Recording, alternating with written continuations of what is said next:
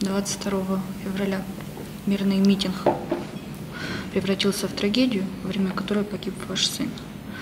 Вот вы знали о том, что он идет на митинг? Как часто он вместе с патриотически настроенной молодежью, друзьями вот, ходили на подобные мероприятия? Ну, на подобные мероприятия ходил достаточно часто Данил, вот, но рассказывал о них э, уже после этих мероприятий. То есть он очень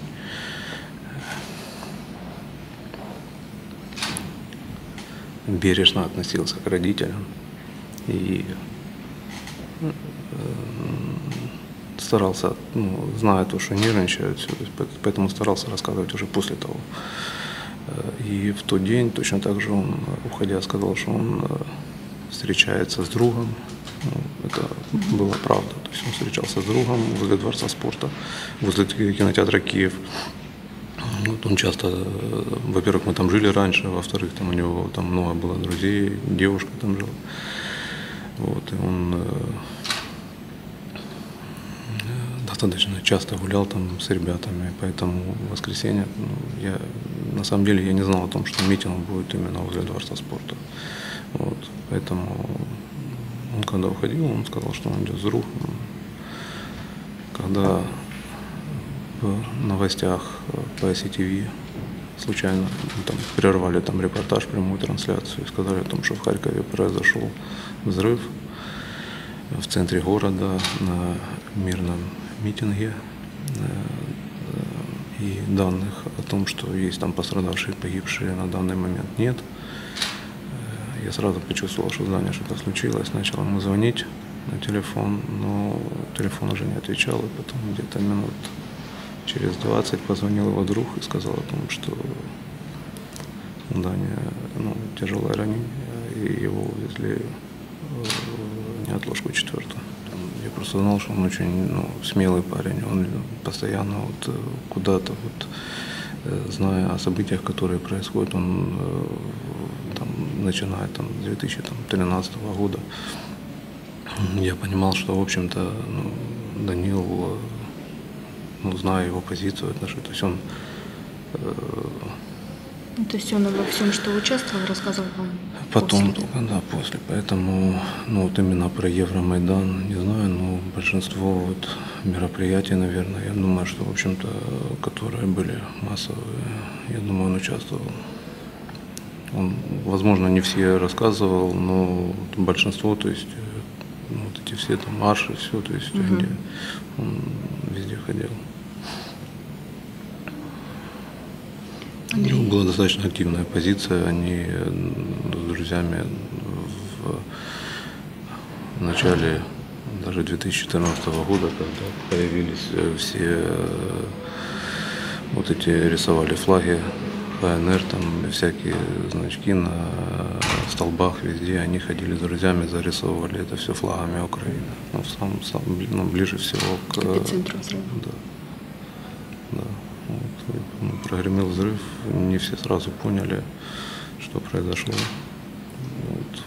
Многие начали отбегать, потом вернулись, кто-то остался сразу рядом.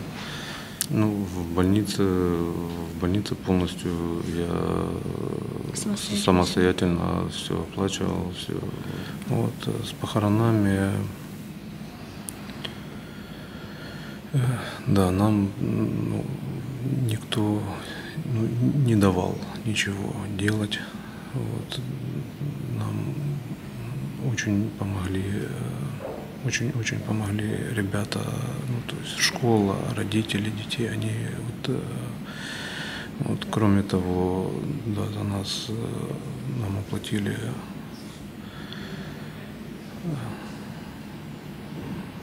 ритуальные услуги. Но то, что власть не предприняла ни малейших действий для того, чтобы обеспечить безопасность этого митинга. Более того, она наоборот э, даже ну, забрала всех тех, кого планировали поставить на этот митинг, оставив только одних, ну, грубо говоря, там... Ну, Андрей, откуда вы вот знаете, что взрывотехников не было? Ну, Дело в том, что у меня есть материалы дела, которые Мгм. проходят. Да, там есть все, все документы, которые об этом говорят. Кроме того, есть показания свидетелей. Вот. И в принципе, еще раз повторюсь, если бы взрывотехники находились на данном митинге, то периметр митинга был бы проверен в первую очередь. Ну, в общем, организаторы э, митинга, они изначально, да, там говорили о том, что, да, там даже на похоронах Дания я э, от одного из них слышал о том, что обязательно, то есть они добьются того, чтобы областные власти ответили за то, что они сделали все, но определенная часть организаторов, получив через неделю буквально должности советников губернатора, наверное, забыли об этом и перестали вообще каким-то образом в этом участвовать. И на данный момент я не знаю ни одного уголовного дела, которое завела прокуратура по преступной халатности и несоблюдения мер безопасности на организованном массовом мероприятии. То, что это они, даже уже не вызывает сомнения даже у людей, которые сомневались в начале расследования, ну, в начале судебного разбирательства, просто в, в ходе, даже на данный момент вот сейчас прочитали порядка пяти томов из 16 дел. 5 из 16 там. Да, да. Вот. Знаете, дело в том, что несмотря на то, что я писал президенту, передавал через его личную охрану, через пр- пресс-службу, через э, волонтеров, которые вхожи к президенту, э, Я так понимаю, вас больше не награда интересовала, какие-то вопросы. меня интересовал вопрос, почему. Почему, то есть, ну, почему о ребятах вообще никто не вспомнил. То есть, ну, взрослых наградили, а ребят, ребят, ну, про ребят даже слова не сказали. Почему? Ну, Вы не получили ответа. До сих пор. До сих пор не получил ответа. Хотя одно и то же письмо я передавал м, 4-5 раз, где-то не меньше. Да, не будем поминать 23 февраля. Будем поминать, как мы поминали 9 дней, 40 дней с э, Даниными друзьями, со всеми, вот, и с близкими нам людьми.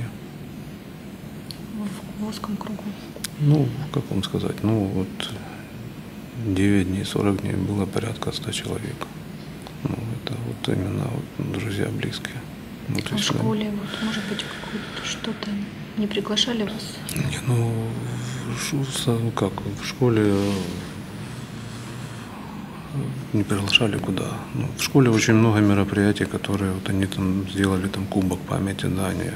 Мгм. То Они, да, уже есть. да, они собираются Кубок по- по повесить. какому виду спорта? Ну, там общешкольный, там начинается в Данин день рождения и идет э, на Кубок Дания. Вот в том году он прошел, ну, закончился 6 мая, то есть ну, порядка 10 дней где-то, а потом в разных видах спорта. Вот. Э, Они, э, ну, школа хочет повесить памятную Доску? доску, да. Даня висит, Данина фотография висит на доске почетных учеников. Вот. Да, у нас э, очень ну, патриотичная семья, и школа у Данила очень замечательная. Ну и сам, в принципе, то есть э, э, очень любил Украину и Харьков.